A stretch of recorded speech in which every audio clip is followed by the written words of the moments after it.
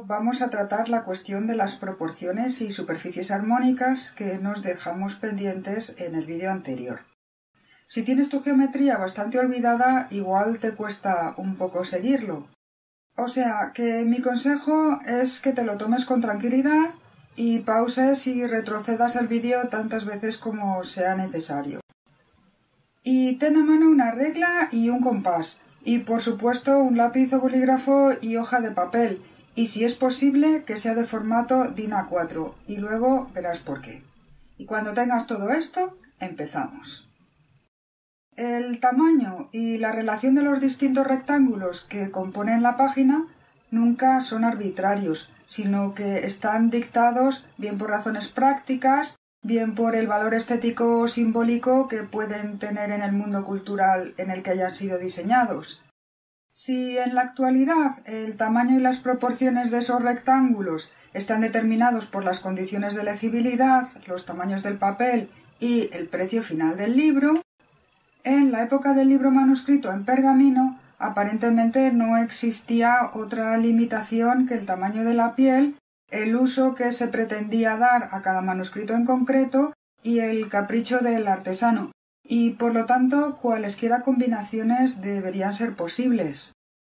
Sin embargo, lo cierto es que de todas esas casi infinitas teóricas posibilidades de combinación, en la práctica se repiten una y otra vez las mismas proporciones que forman un número relativamente pequeño y casi todas esas proporciones repetidas una y otra vez siguen reglas matemáticas, aunque por supuesto también se hallan libros que no siguen ninguna de las proporciones a que me estoy refiriendo ahora. Algunas de esas proporciones pueden calificarse como racionales ya que siguen ratios racionales, y de ellas las más corrientes son un medio, dos tercios, tres cuartos o cinco octavos. Otras son irracionales en cuanto que están regidas geográficamente por números irracionales, como phi, raíz de 2, raíz de 3 o raíz de 5. Para comprender esta recurrencia hay que tener en cuenta que una página escrita es el resultado de una serie de exigencias formales, legibilidad fundamentalmente, pero también otras como el destino final del manuscrito como producto de exposición o lectura privada, como producto de lujo y ostentación o estrictamente funcional, pero además es fruto de un desarrollo cultural previo. Y este desarrollo cultural explica, por ejemplo, por qué Gutenberg prefiere una página en proporción dos tercios, o que durante el Renacimiento rara vez se utilizase la proporción 1 raíz de 2 que tan corriente había sido durante la Edad Media. A continuación se describen las superficies armónicas más comunes en los códices medievales y el modo de obtenerlas geométricamente. El rectángulo áureo se obtiene partiendo de un cuadrado que se divide en dos partes iguales por medio de una línea recta. De una de esas mitades se halla la diagonal, que se proyecta sobre uno de los lados iniciales para constituir el lado largo del nuevo rectángulo. Y luego no hay más que trazar los lados que faltan, prolongando el otro de los lados largos y trasladando el lado corto a su nuevo emplazamiento. Si dividimos la longitud del lado mayor entre la del lado menor, se obtiene un cociente de 1,618 y esta cifra sirve para establecer la ratio 1 a 1,618 cuyo cociente es 0,618 que se conoce como sección áurea. Y los tres términos del rectángulo que produce constituyen una proporción continua. El rectángulo de Pitágoras es el resultado de yuxtaponer por su hipotenusa dos triángulos rectángulos de proporción 3, 4, 5. Produce un rectángulo de proporción 4 a 3, cuyo cociente es 1 con 3 periódico. El rectángulo de proporción creciente es una figura muy interesante y de hecho es la base del actual sistema DIN. Se halla de la siguiente manera. Partimos de un cuadrado perfecto, del que hallamos cualquiera de sus diagonales, que se superpone a uno de sus lados para formar el lado mayor de un rectángulo cuyo lado menor mantiene la longitud del lado del cuadrado inicial. En este nuevo rectángulo, la relación entre el lado menor y el lado mayor es de 1 raíz de 2. Y este rectángulo de proporción 1 raíz de 2 tiene la peculiaridad de que si se corta por la mitad en el sentido de su lado menor o se duplica en el sentido de su lado mayor, mantiene exactamente la misma proporción. Y esa es exactamente la proporción del moderno sistema DIN. Si la hoja que cogiste al principio es de formato DIN, prueba a plegar por la mitad sucesivas veces y mide los lados de los rectángulos que te van saliendo. Y si no te salen los números, es porque no has sido demasiado cuidadoso al plegar.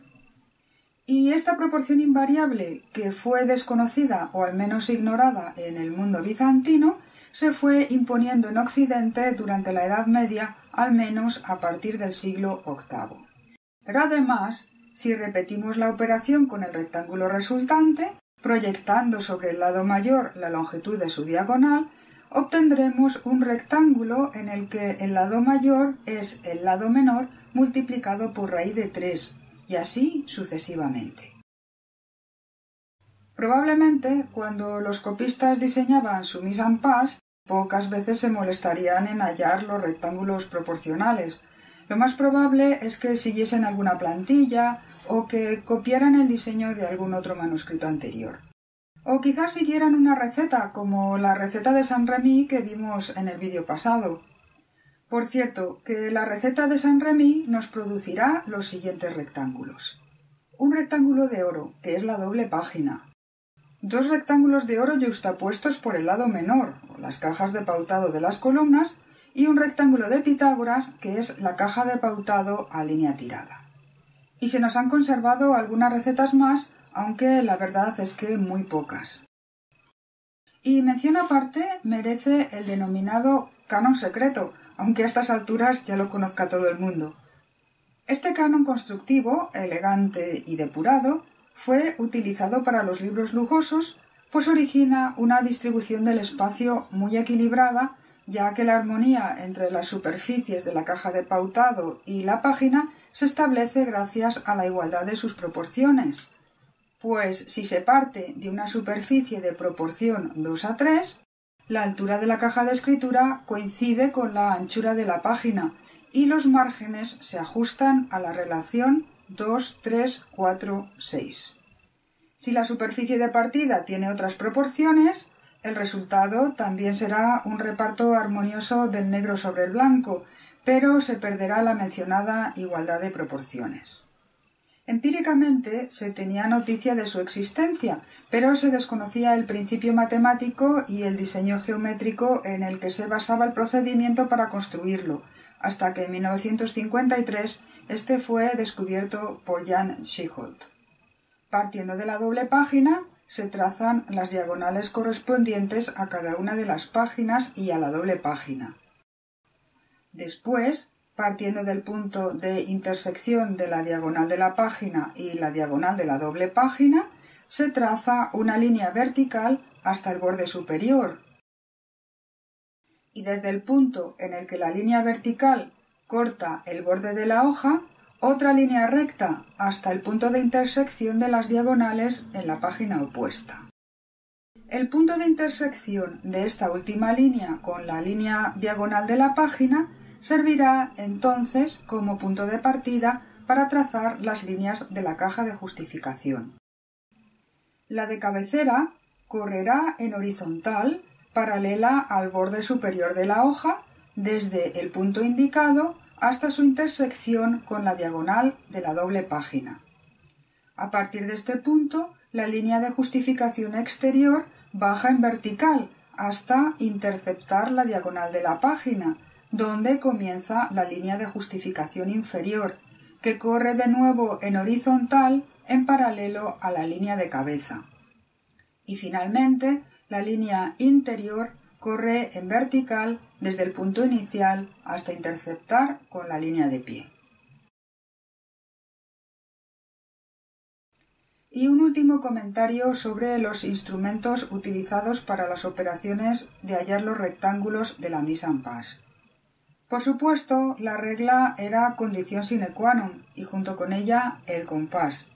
Y aparte del compás normal que nos resulta familiar a todos, durante la Edad Media se conoció un compás de tres puntas, cuya finalidad probablemente era reproducir las proporciones fijadas entre la primera y la segunda punta y entre la segunda y la tercera.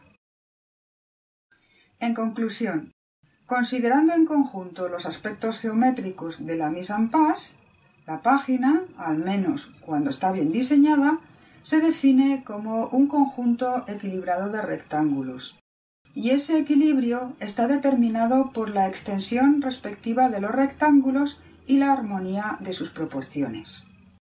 Este equilibrio y armonía se perciben instintivamente y la razón parece ser fisiológica. La estimación que realiza el ojo de las longitudes relativas de los lados adyacentes de un rectángulo es en última instancia reducible a la medida instintiva de la duración relativa de dos intervalos de tiempo. Lo que se aprecia a nivel subconsciente es la ratio del tiempo que requiere la línea de visión para pasar de A a B y de A a D. Y estos intervalos son instintivamente medidos por los relojes corporales internos. Mientras que el foco de visión pasa de A a B, un cierto número de impulsos nerviosos pasa a través de los nervios ópticos en un periodo de tiempo proporcional al esfuerzo muscular del globo ocular. Y la experiencia que se percibe cuando concurren ciertas longitudes obedece en última instancia a la misma razón por la cual ciertos intervalos musicales son percibidos como más armoniosos, cuando son reducibles a la proporción de números enteros pequeños y son exactamente la octava que tiene una ratio de frecuencia de 2 a 1, la tercera mayor con una ratio de 5 a 4 y la sexta mayor con una ratio de 8 a 5.